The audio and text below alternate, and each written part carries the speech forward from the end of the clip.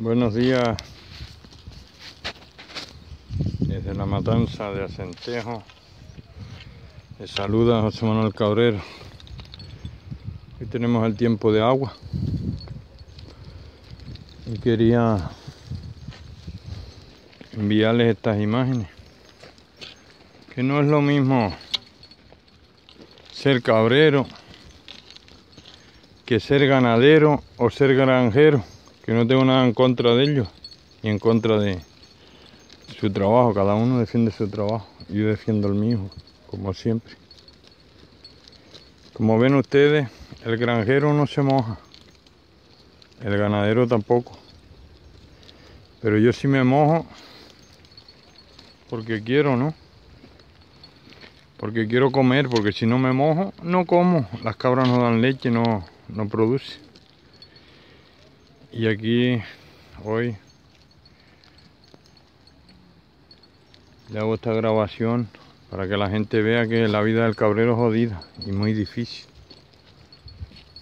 No es como lo pintamos.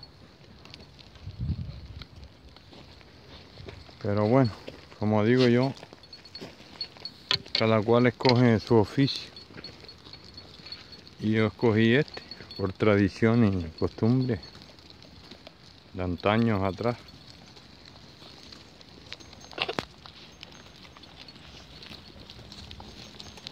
Y, hoy tenemos el día gris. no pensé que lloviera ahora de aquí que llega a mi casa. Voy mojado como un pato más. Porque de aquí allá es un cacho. Pero bueno, no me queda otro remedio. Eh, tenemos que seguir con nuestras costumbres y tradiciones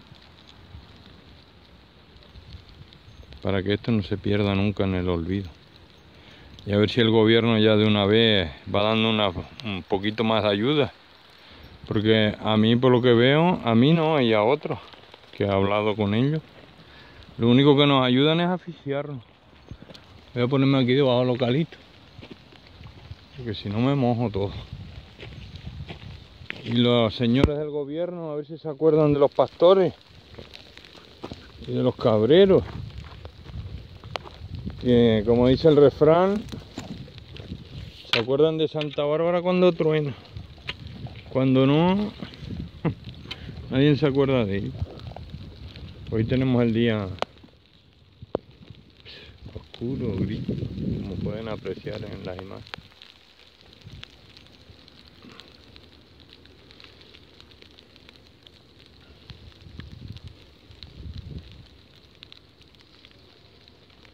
Aunque no creamos, esta agua no viene muy bien tampoco porque la uva este año no sabemos si madura. Este año hemos tenido un año bueno para cosas, pero para otro malo voy a mojar, ¿eh? Pero la vida del cabrero es esta. Voy a mojar, no, es que estoy mojado ya, ¿no me ven? ¿Mm? Después me dicen a mí, me dicen algunos, dice, somos artesanos, según la clase de, de artesanos también. ¿Ves? Esto sí es una artesanía, ¿no? Estarse mojando, buscando la comida a las cabras. Pero como digo yo,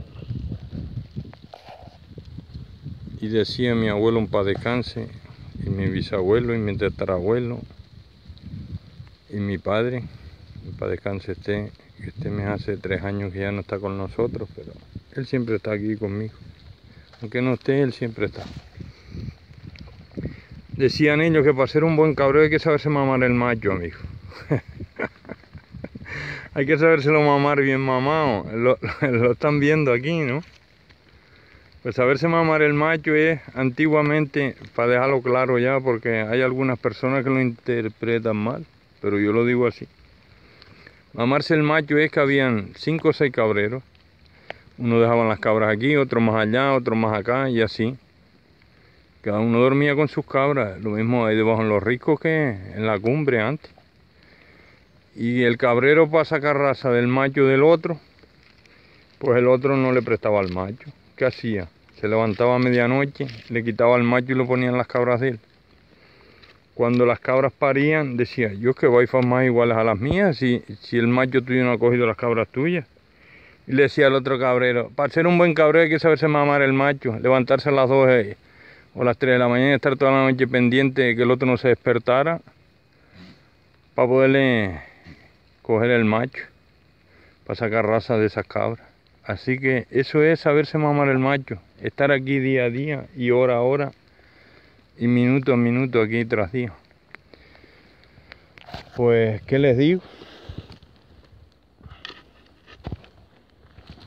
Con estas imágenes nos despedimos. Aquí tenemos la flor de... Yo la llamo cardilla. Y mi padre también la llamaba cardilla. No sé cómo la llamarán ahora. Porque como todo va cambiando. Hace poco me hizo una chica en el Facebook. Dice, José Manuel, ¿las papas de dónde vienen? Le digo, de los naranjeros.